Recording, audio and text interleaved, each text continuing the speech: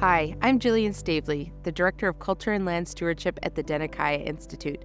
Protecting the Kaska ancestral territory in Dene K'éh Kusān's Indigenous Protected and Conserved Area means managing these lands based on Kaska values and traditions. But we often get asked what about the economic opportunities when the land is protected? There will be many opportunities as we work under the principles of a conservation economy. This means in Dene K'éh Kusān, the Kaska will take the lead in deciding how to steward the land and natural resources while creating employment opportunities and stewarding ecosystems for the benefit of future generations. One example of the conservation economy is guide outfitting. The Cary family at Scoop Lake Outfitters have been great land stewards while also operating a successful business. Recently, we went out to talk to them about it. My name is Tiffany Cary, and my family runs Scoop Lake Outfitters.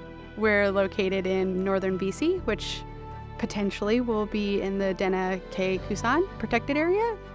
It's habitat that is pretty much like it was 100 years ago. Right? There's no roads, no mining, no logging. It's just picturesque, beautiful. Words don't describe it. The trees and the grass and the animals are all part of what keeps our earth healthy. Without wildlife and healthy landscapes, we don't have a business. We do guided hunts. We have stone sheep, moose, goat, and elk. And we've been trying to get into a little bit more ecotourism. People spend the night and just, you know, go for a walk, go for a hike, enjoy nature. We've got a lot of it. Bird watching, horseback riding, fishing, general relaxation, trying to disconnect and unwind away from your electronic device or the pace of everything else and get back to the pace that life probably should be at. These guys are a big part of it. We use one set one day, rest them the next day, change to a different set, so the horses don't get exhausted because it's a lot of work on them. We rely on them to be our muscle, but you gotta respect them too, just like every animal. Isn't that right, Wrangler? It very much is possible to have an economy without huge extraction. There's value in the land by keeping it the same.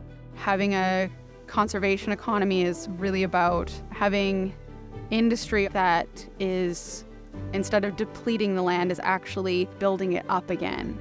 And we like the idea of the IPCA because for us personally and also professionally, the whole landscape is so important. Any way that you can make sure that that is protected and thriving, it just feels like a no-brainer. It's First Nation led. It's led by local knowledge and people who care about the land and know the land. And Kaska, their love of the land will hopefully be replicated in how the IPCA is run because this is part of who they are. I'm second generation. We have two daughters, and we now have our first granddaughter. She's almost a year old.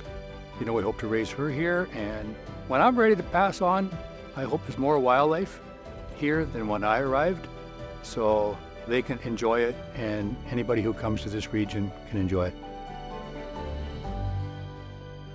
Scoop Lake Outfitters is one example of the kinds of economic opportunities available when land is protected. Find out more about the Dene K'éh Kusān Indigenous Protected and Conserved Area at denakayeh.com.